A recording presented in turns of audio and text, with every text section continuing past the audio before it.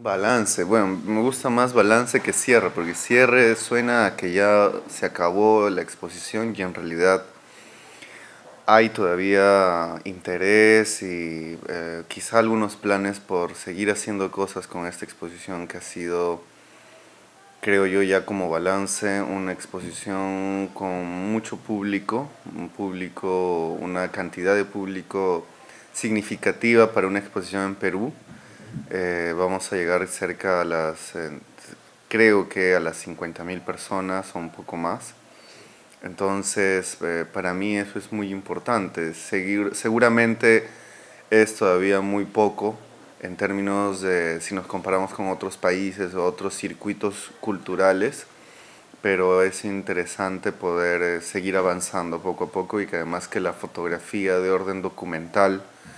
empiece a ganar espacios dentro de las galerías para que eh, llegue a ser o llegue a estar considerada en el mismo nivel que en otros lugares, lo cual es un objetivo de todas las personas que trabajamos dentro de la difusión cultural, la promoción cultural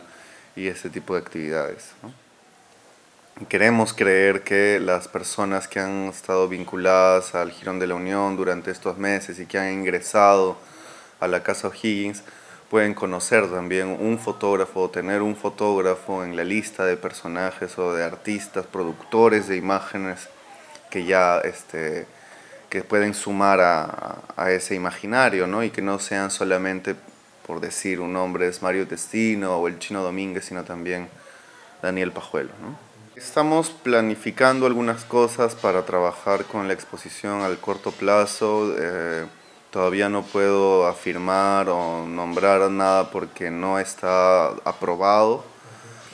pero queremos traer parte de la exposición a la universidad, queremos eh, que la exposición también tenga, o algunos núcleos de la exposición vayan a la red de museos del centro histórico para que circule ahí. Eh, y tenemos también otro tipo de actividades como charlas que estamos este, pensando dar relacionadas también a esta exposición, pues no solamente se trata de la muestra, sino también de la investigación y el proceso curatorial que queremos compartir con la gente, ¿no?